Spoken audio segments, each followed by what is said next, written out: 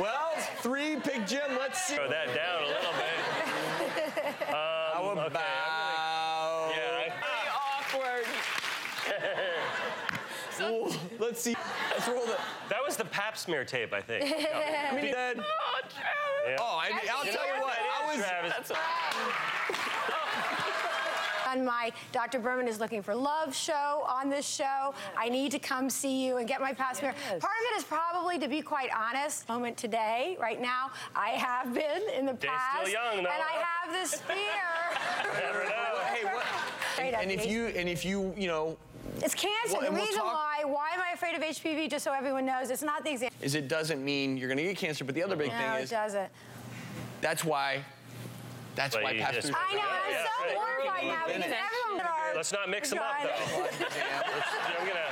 And um, I'm the dentist. She's the OB.